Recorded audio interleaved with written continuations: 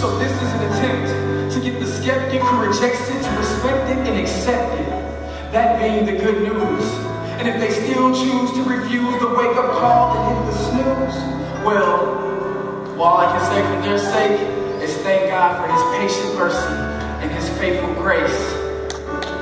Let me tell you why we sing to our risen King and exalt his name above everything. This is why he is worthy of praise, because he died on the cross and forgave sin slaves. Three days he laid in the grave, but then the Father raised his son. So what had been written about the one to come had just been done. The resurrection of perfection, the rebirth of the Immaculate Conception, without question.